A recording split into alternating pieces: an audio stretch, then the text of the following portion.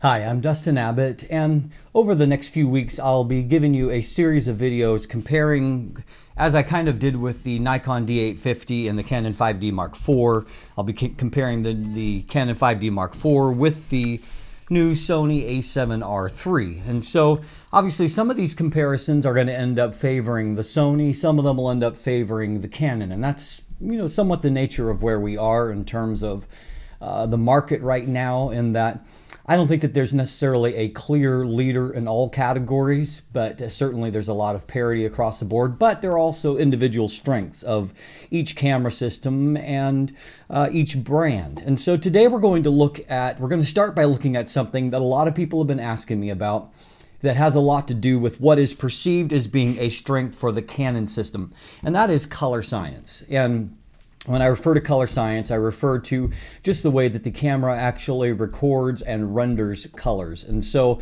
uh, today we're going to look at um, kind of some static comparisons along with a few kind of portrait type comparisons so we can take a look at skin tones and we can evaluate whether or not that perception about Canon color is in fact accurate and at the same time, of course, evaluate how Sony is doing here with the new A7R III.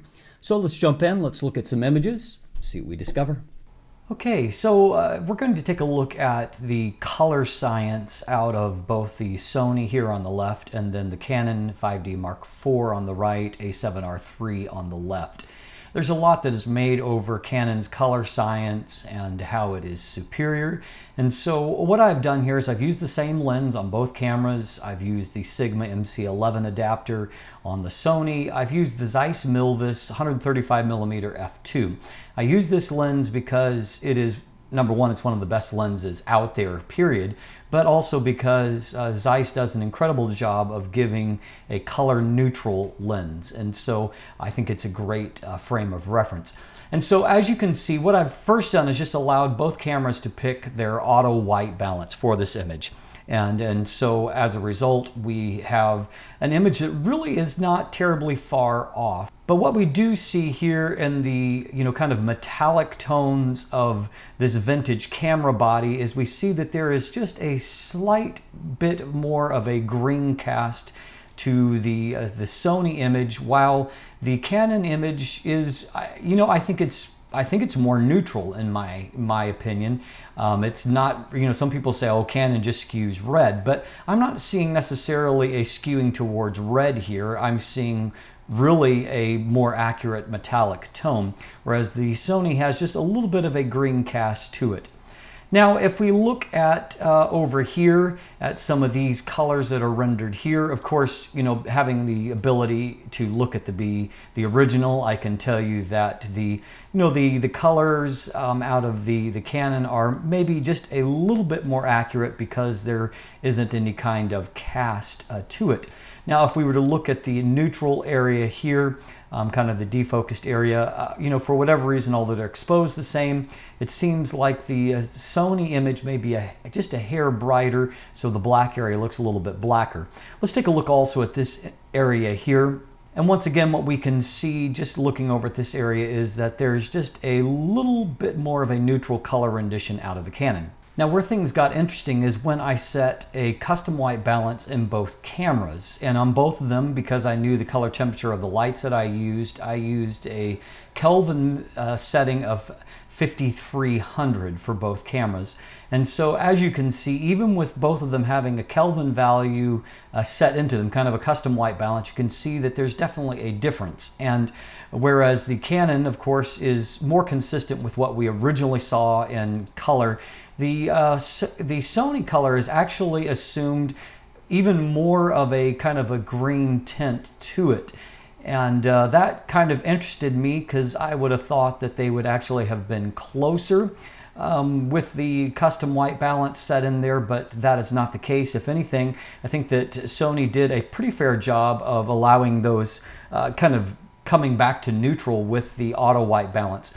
Now, if we look here, just looking at this at a kind of a brighter level, you can see that on Mario's face here, that the, uh, the skin tones just are, as a result, they're just a little bit cleaner looking, um, and some of that has to do with the tint there. And we can also see that some of these colors just look a they're not necessarily oversaturated. It's a little bit more about accuracy, I would say. And there is, uh, you know, similar saturation levels and but the end result isn't quite the same. So is it possible to get, you know, basically Canon colors out of a Sony body? Well, I did just a little bit of tweaking here in Lightroom, uh, trying to find, you know, as close a balance as I could. And a lot of that involved adding um, kind of ma more magenta tint into the, uh, the Sony and also um, lowering the black level a little bit to uh, match the, uh, the contrast punch out of the Canon. And I think that here we've got a pretty close result here. Um, if not identical, it's certainly, I think, very, very close. And so I think that the answer is yes, you can uh, get equivalent color, um, but it may take a little bit more work to achieve that. So what about faces? I used the uh, Sigma 85mm f1.4 art on both of them, a very good portrait lens. And so as you can see under similar conditions shooting outside here, you definitely get a different look uh, to the skin tones on both of them in terms of the basic color cast. Um, it's not the same. And in here, um, it's it's hard for me to describe this, but um, there's definitely probably it's probably more that green cast that is there. Whereas the the Canon skin tones, as you can see, they're they're a little bit paler, yes, but I think that they're also a little bit more neutral in terms of the color. And so as you can see, I mean, both of them, you know, both results look look good. And if you weren't looking at them side by side, you know, you wouldn't necessarily say one is better than the other, but there certainly is a difference. So if I equalize color balance here as much as possible to see how our result evens out, we can see that, you know, in both cases, it's, it's still not quite all things being equal here and um, just there's just a little bit more of a tint there. And we've seen that just changing the white balance doesn't necessarily uh, do the trick on the Sony. You need to infuse a little bit more magenta into it for one thing to help to offset some of that green cast or bias. Now in this case I purposely entered in a cooler white balance um, for this setting and so kind of an overcast day and I went with kind of more of a daylight type and, and so in this case, that actually produces a cooler result. And so what we can see is that if we um, look at the two of them side by side, the, the funny thing is, is that in some ways the, the Sony has actually skewed a bit cooler than what the Canon has. And, um, and so that's kind of interesting considering our previous result.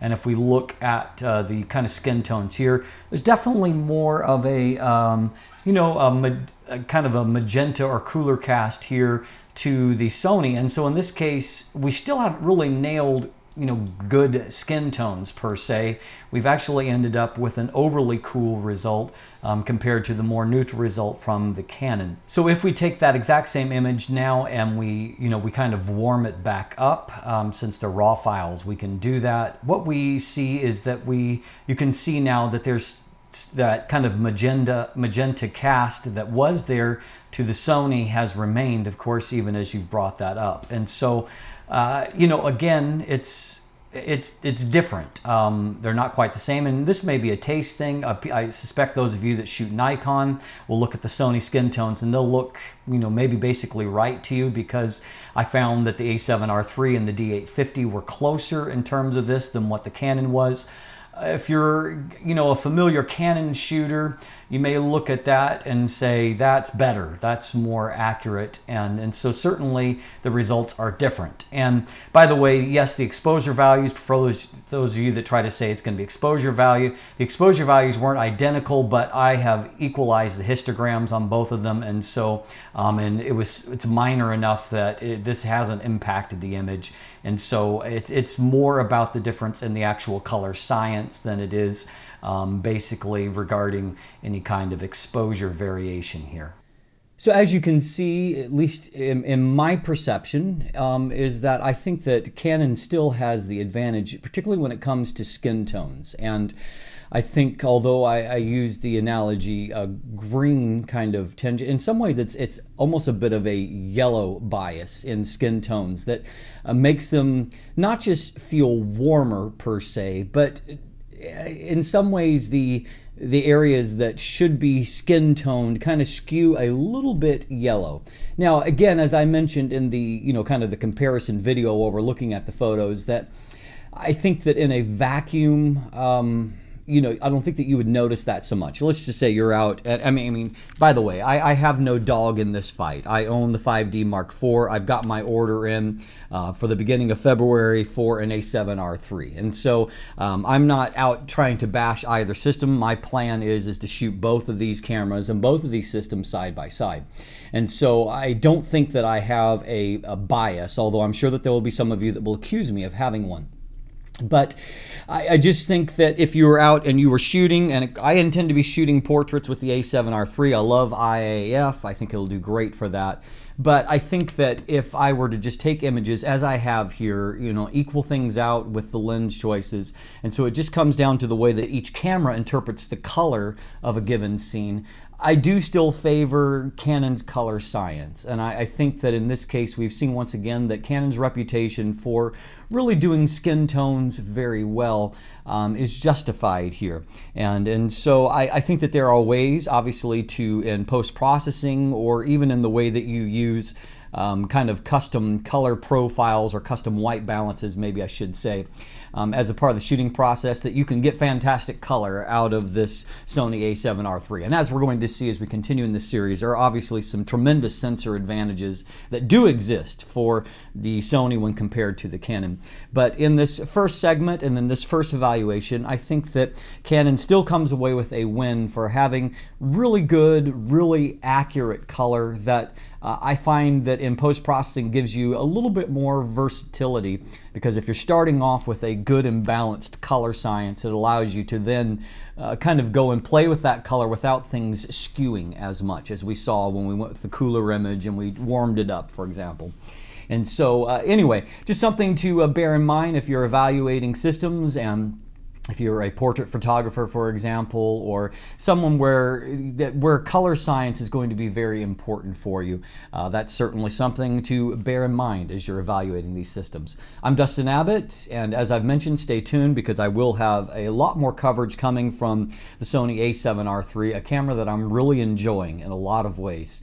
And uh, so stay tuned for that. You can also see an image gallery from the A7R3 where I've got lots of photos from a lot of different applications, APS-C mode, adapted lenses, native lenses, the you know 24 to 105 f4G, which I just released a uh, first look beginning of the review at, all of those things. So stay tuned for uh, those things and there'll be a lot more coverage coming your way. If you haven't already, please click that subscribe button. Thanks for watching.